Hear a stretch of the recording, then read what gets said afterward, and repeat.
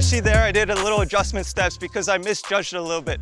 That'll help as well, just small steps to get yourself set up.